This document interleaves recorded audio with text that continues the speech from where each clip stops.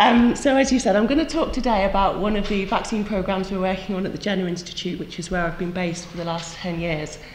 We have a number of vaccines in clinical development against a range of pathogens, um, including outbreak pathogens such as Ebola and flu. Um, and also we're very interested in T-cell inducing vaccines as well, which is what I'm going to talk to you a bit about today. So the need for a malaria vaccine is, is clear and well defined. Um, malaria still causes over 600,000 deaths every year in sub-Saharan Africa, mainly in uh, children under the age of five and pregnant women. And despite advances in uh, things like insecticide-treated bed nets and vector control, uh, a, a malaria vaccine would be an extremely helpful part of uh, eliminating malaria from the sub-Saharan uh, uh, region of Africa. So the aims of a malaria vaccine now are defined in the Malaria Vaccine Funders Technology Roadmap, which was uh, last updated in 2013. Um, this is a document put together by the WHO and the various um, charitable and uh, national organisations that fund malaria vaccine development. So the aim is to have a vaccine with 75% efficacy against clinical malaria that would be suitable for administration to at-risk groups because we, we need to remember that the target for this uh, vaccine will be children under the age of five and ideally very young infants so that we can protect them from malaria before the ages at which they're most at risk. And that's a particular challenge in vaccinology, as I'll discuss a little bit more. The other um, way of uh, reducing malaria transmission is to have a, a vaccine that protects um, people from uh, further transmitting the mosquito, uh, the parasite into the mosquito host. And this would have to be suitable for mass administration campaigns. But that part of the malaria uh, vaccine field is much less advanced than uh, protecting uh, the, the stages that I'm going to talk about today. So this is the um, malaria life cycle for those of you not familiar with it. It starts here with an infected Anopheles mosquito biting a human host. And in the first probably 30 minutes to a few hours of being bitten by an infected mosquito, parasites travel from the skin to the liver. Once within the liver, the parasite replicates for between five and seven days in the human host before parasites are released into the blood. And it's that blood stage of infection that is associated with the clinical symptoms that we're all familiar with, so the fever and the anemia uh, and the subsequent sequelae of uh, clinical infection. Most malaria vaccines have aimed at inducing antibodies against either the sporozoite stage or the blood stage. But what we're really interested in doing with a T-cell inducing vaccine is targeting the stage where the parasite's multiplying in the liver, because this is the one stage where obviously there's antigen presented in the context of MHC that can be recognized by uh, antigen-specific T-cells. And so that's really the aim of, of what we're doing here. So as I mentioned, the target age group for a malaria vaccine are infants. And most vaccines that we give are administered during infancy, but they primarily protect through induction of antibodies. Um, the main exception to this would probably be BCG, where we think efficacy is primarily mediated by CD4 T cells. But there are a number of diseases for which a CD8 T cell inducing vaccine would be really effective, so RSV, HIV, and of course malaria at the liver stage. But we know that inducing um, CD8 T cells in the neonatal and infant period is really difficult, and there's an abundance of evidence in mice that shows that neonatal mice are defective in Th1 type responses, and that those responses that you can induce by vaccination tend to be skewed towards Th2 types.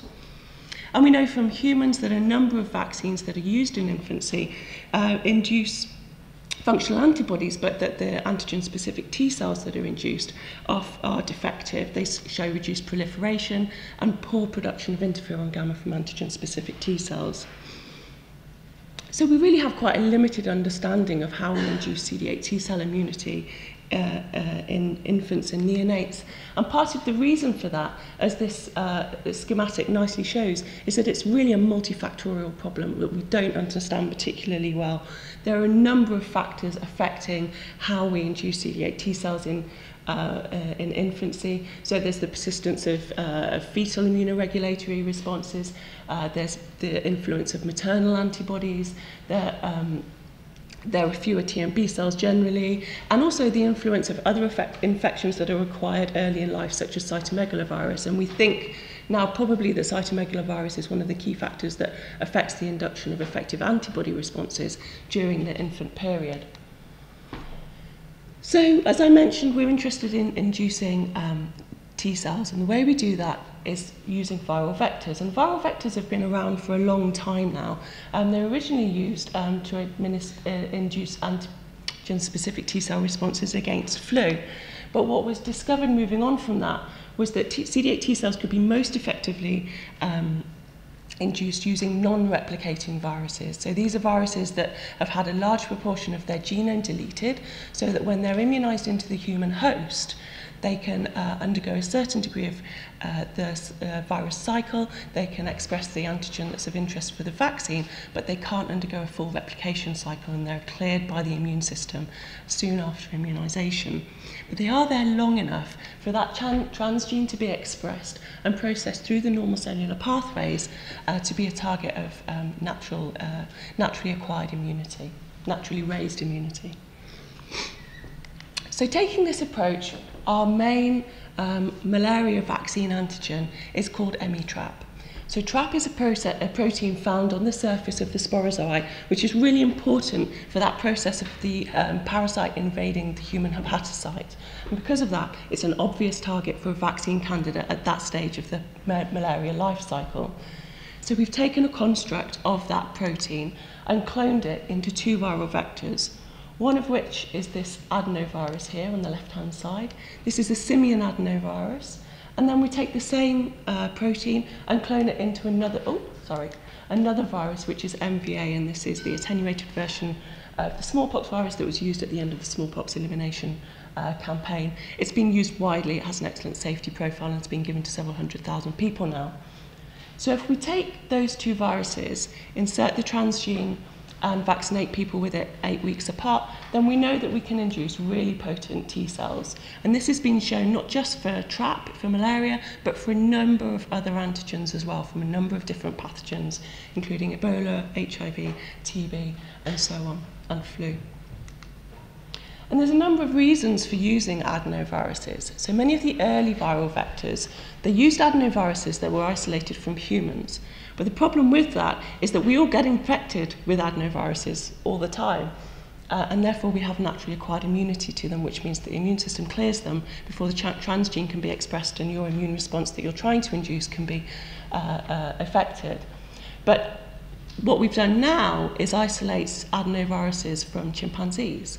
And these have the advantages that obviously, because we don't come into contact with chimpanzees particularly often, we don't get infected with simian adenoviruses and we don't raise antibodies against them. Um, and this isn't particularly clear on the left-hand side, but if you look at a phylogenetic tree of one of the major proteins on the surface of an adenovirus, in this case the hexon, you look at their DNA sequences, this is the human adenovirus up here, whereas the simian adenoviruses that we use are very genetically distinct from them, which means that you get very little cross-reactivity between antibodies against different species.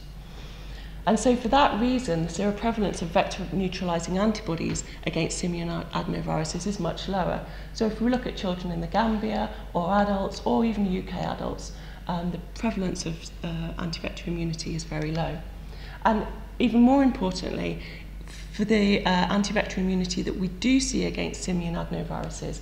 Although it's there in adults, it's much, much lower in children, and again, they're the target population that we're looking at here. So simian adenoviruses as vectors have now been used for a number of different um, approaches to immunization for a number of different diseases. So at the top here, these are all the malaria vaccines that have been used um, with a number of different antigens against different stages of the parasite life cycle. Um, they've been used for HIV, they've been used for hepatitis, Ebola most recently. There's a PANAD-3 vaccine against RSV that's been into uh, clinical trials now, and also for flu and tuberculosis. So these vectors have been widely used. They have an excellent safety profile, and they're very immunogenic for T cells. So one of the advantages we have in the malaria field over other fields such as HIV or tuberculosis vaccine development is that we have a human challenge model. And that really speeds up the process of um, vaccine development because it means that at the early stage of clinical development, once we've demonstrated safety and immunogenicity, we can show proof of concept of a vaccine efficacy in a very small scale challenge model. So this involves vaccinating our volunteers with that eight-week prime boost approach that I showed earlier. And then we expose people to the bites of infected, um, malaria infected mosquitoes. So they get five bites. Um, you can see here, these are the mosquitoes in a coffee cup with a piece of gauze over the top. You put your arm over it, uh, the mosquito bites. And somewhere between 10 to 12 days later, um, you develop clinical malaria in the control group. We hope that obviously for the people we've vaccinated, they don't develop clinical malaria, but that's our readout at a very early stage of vaccine development for malaria. And what that allows us to do is down select candidates at an early stage. It provides proof of concept to funders to encourage them to fund us to go on and do larger efficacy studies in our target populations. So just going to digress here a little bit to talk about T cell assays in vaccine development. So clearly If we're interested in inducing T cells, we have to be able to measure them in a meaningful and relevant way. And traditionally, this is done with ELISpot and flow cytometry. Um, they're used widely to assess vaccine-induced immunity, to understand immunogenicity, and to look at vaccine potency and efficacy. And they're really important in the uh, go-no-go -no -go decision-making processes for T-cell vaccines. And they can allow us to do things like epitope mapping, which is something we've done for the Ebola virus glycoprotein for the first time in humans. Uh, and these are really the, the main things in our toolbox for T-cell assays. But there are a number of factors that uh, affect T-cell assay outcomes, and I've listed just a few of them here.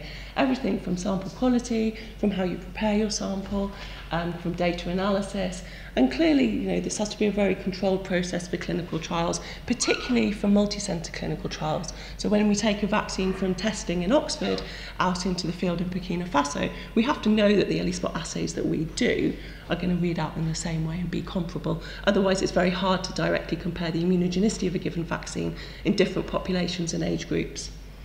So we're not the only people to run into these types of issues. There have been consortia around for a number of years now looking at addressing some of these issues around assay harmonisation and standardisation.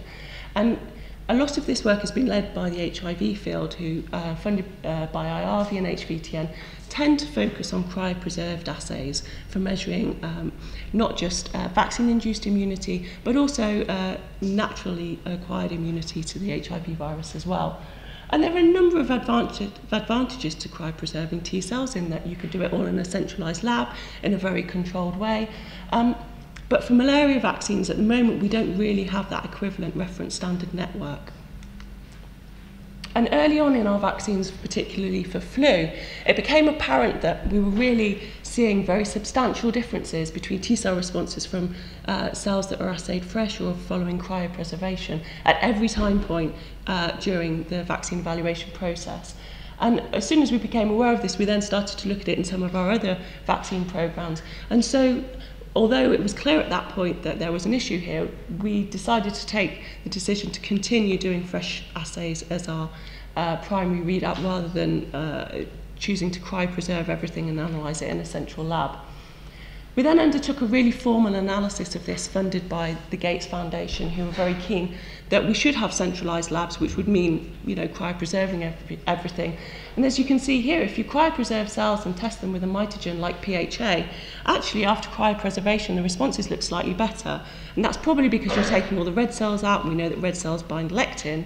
And certainly for uh, antigens where you're chronically exposed, so something like cytomegalovirus, there's not much difference whether you look at the response in fresh PBMC or frozen PBMC.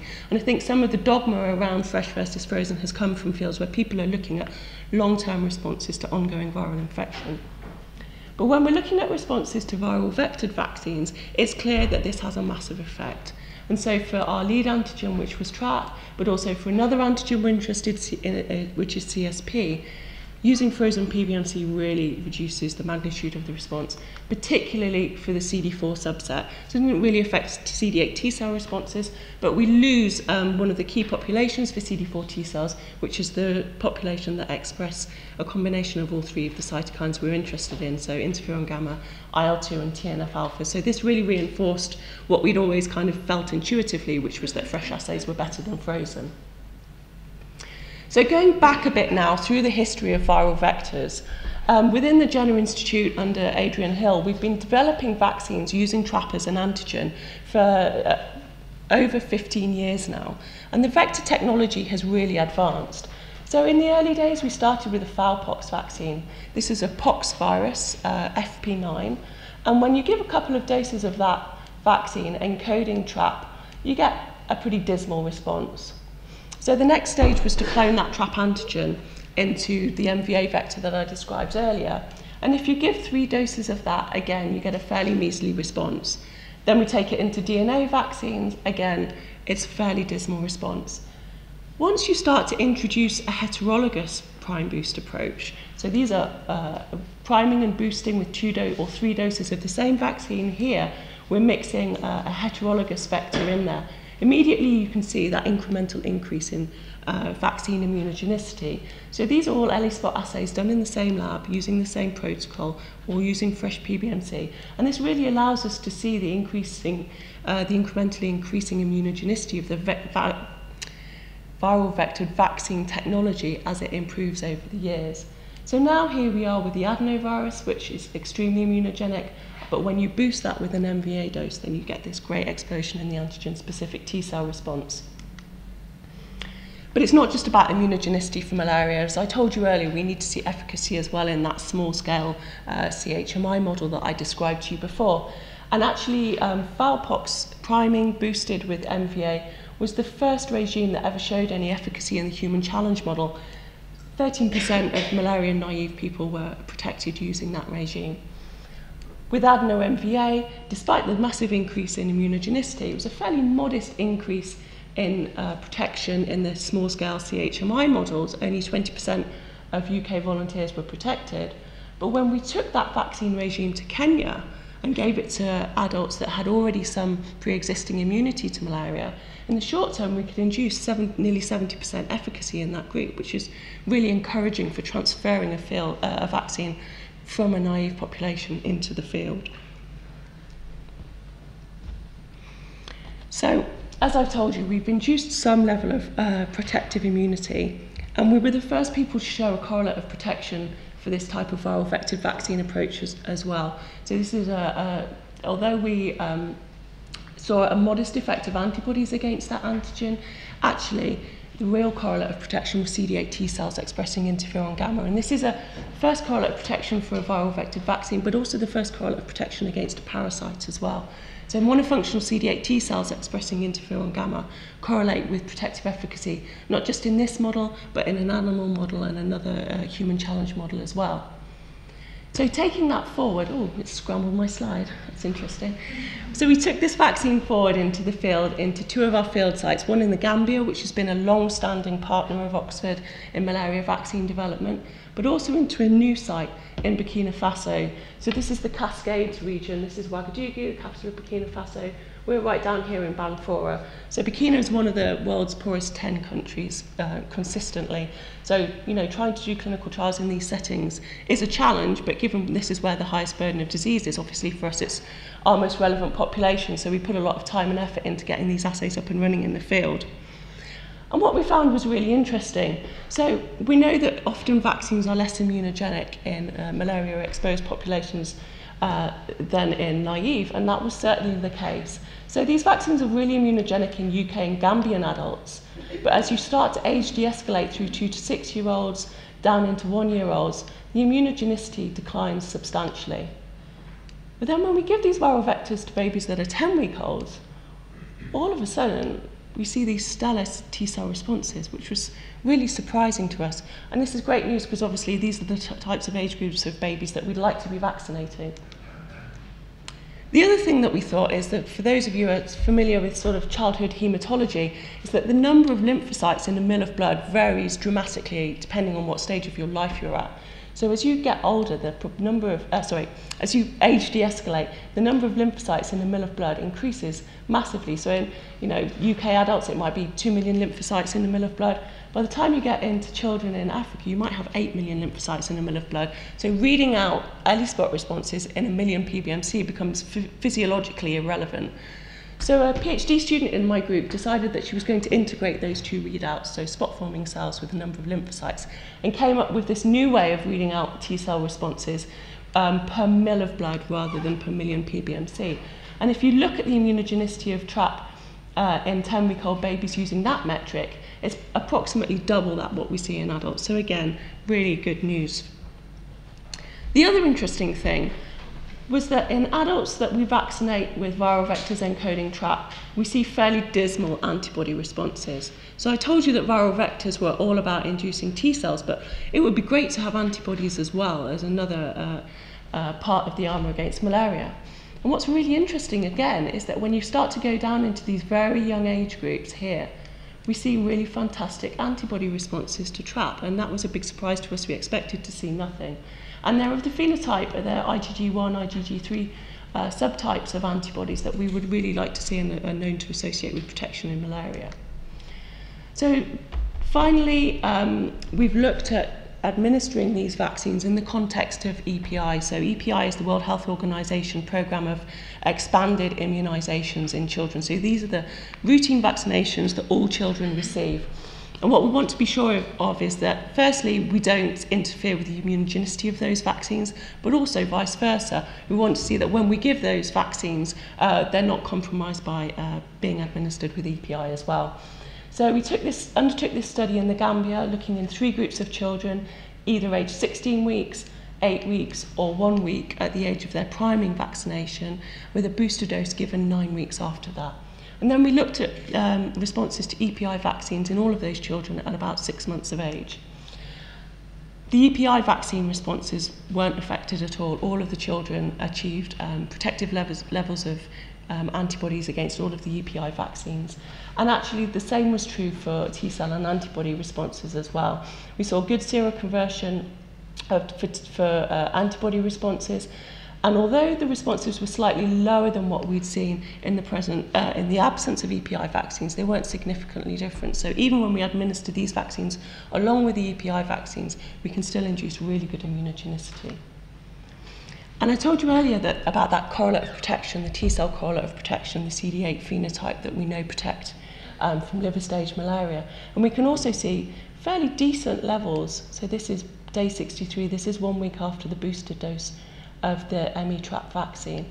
And you can see that 92%, 86% and 67% respectively of 16-week-olds, 8-week-olds and 1-week-olds are able to elicit that type of T-cell response that we know is associated with protection in adults, which I think is really promising going forward.